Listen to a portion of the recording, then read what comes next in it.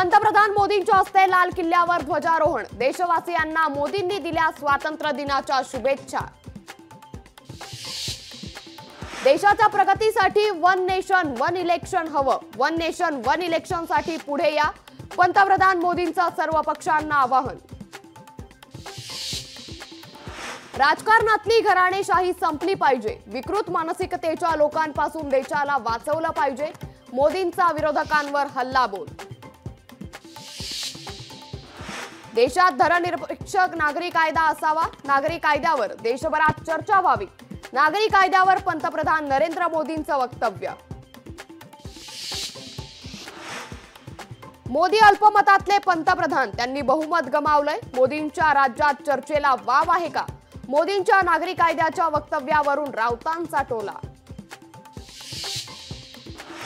बांगलादेशातील हिंदूंना त्रास होणार नाही याची जबाबदारी आपली. तिथल्या हिंदूंचं संरक्षण करा. मोहन भागवत यांचं देशवासियांना आवाहन. लाडकी बहीण योजनेचे पैसे सतरा तारखेपर्यंत मिळणार. एक कोटी महिलांना पैसे मिळणार असल्याचं देवेंद्र फडणवीसांचं आश्वासन. मुख्यमंत्र्यांच्या हस्ते वर्षा निवासस्थानी ध्वजारोहण. देशासह राज्यात प्रशासकीय इमारती सजल्या. उद्धव ठाकरेंच्या हस्ते शिवसेना भवनात ध्वजारोहण. शिवसेना उद्धव बाळासाहेब ठाकरे पक्षाचे नेते आणि पदाधिकारी कार्यक्रमाला उपस्थित. सरकारला पत्र लिहून तुमच्या अडचणी सांगा. नरेंद्र मोदींचं जनतेला आवाहन.